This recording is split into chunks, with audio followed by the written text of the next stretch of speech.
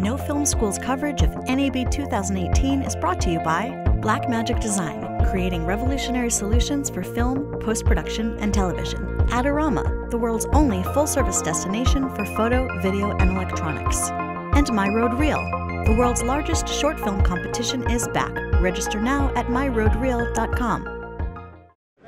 Hey guys, Andy from No Film School here at NAB 2018. We are in the startup section and we are talking to Luke right now, who is from Score Addiction, and they're introducing a software called Streamer. Now, tell us about it. What is it?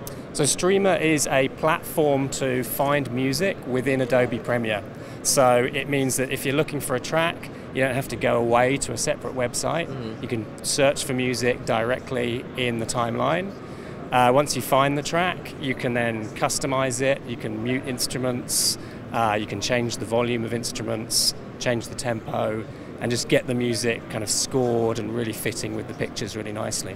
But it also helps with search as well because if you're often you might be looking for a track and um, you find it and you think, oh, this this would nearly works, but yeah, all the time fast. Something's or, a little fast. One yeah, instrument is just not the one. Yeah, or yeah. something like that. So it just allows you to kind of drill down and find that track a little bit faster. What kind of libraries are you pulling from that you have access to? I guess all of the the, the tracks.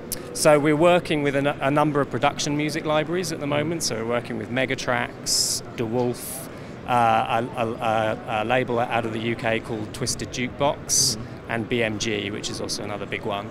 Is this shipping already, or are people using it? It's shipped today. So today, yeah, oh wow! So yeah, we launched today. Yeah, so um, we're basically doing a 60-day free trial. Mm-hmm. Um, users can download the the plugin, install it in Premiere, um, search music, um, if they want to actually license a piece of music, mm. they do that directly with the library. yeah, library. I was going to ask how licensing worked uh, yeah. based on this. So it's a subscription service. So right? it's, we, it's, a subscription to the tool mm. which we provide. It's a subscription to Streamer. Okay. Um, but if you actually want to license music, then you have to have uh, an arrangement with that particular library is know, it going to be integrated with uh, more software than Premiere, or is it yeah. pretty much staying on? Yeah, so at the moment we, we also supply a standalone version, so okay. um, that's kind of for music supervisors or just for people that don't necessarily work within a video editing software.